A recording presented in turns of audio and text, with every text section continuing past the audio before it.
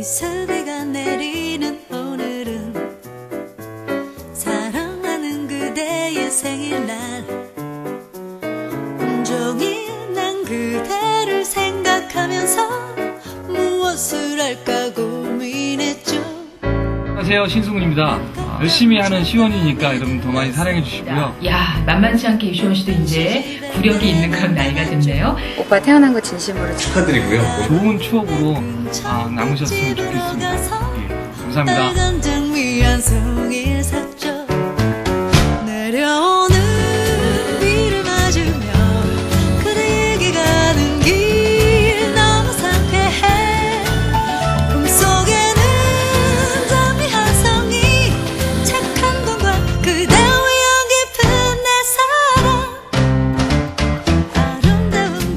안녕하세요. 유시원입니다. 아, 벌써 좀 있으면 제 생일이네요. 아, 작년에도 여러분들과 함께해서 정말 즐거운 생일이었는데, 올해도 많은 분들과 함께, 우리 아시아 팬들과 일본 팬들과 한국 팬들과 다 같이 함께 할 수 있는 그런 멋진 생일 파티에서 여러분들 만나뵀으면 좋겠고요.